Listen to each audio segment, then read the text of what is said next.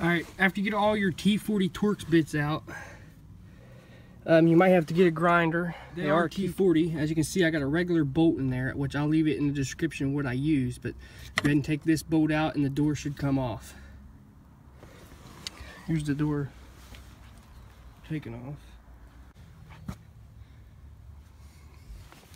Didn't get to record me putting the door on and holding it up because I have to do it by myself. I didn't have anybody to help me. But you want to go ahead and start putting your bolts in there. Um, if you want to do this, it's pretty simple. I mean, it's pretty, you know, pretty self-explanatory. But these bolts are expensive. For two in a bag, they are $2 a piece. Just go ahead and ratchet them in. You might have to get a real small ratchet to get them to tighten up because the big one won't fit. Once you get the heads of them seated all the way flat, you can get your big one in there and torque them down. A little wrench. Still a lot better than their freaking uh, bits. This way I can actually take them off when I need to.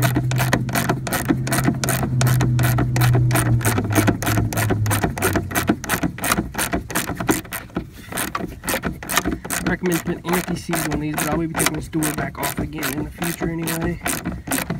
I've got bigger plans for this Jeep. Yeah, it's pretty self-explanatory. If you don't, if you have other doors like I did, it had the bolts already out of them, I just went ahead and cut the uh, bolts off. If some of them are stuck, I had to cut one or two, it was. So keep that in mind. My doors wasn't any good, but this one is. Let me go ahead and do the bottom ones. As you can see, I got some started down there. Fits perfect. Needs uh, sanded off and painted up or somebody paint with dollar store paint. The other one's over there for the junkyard.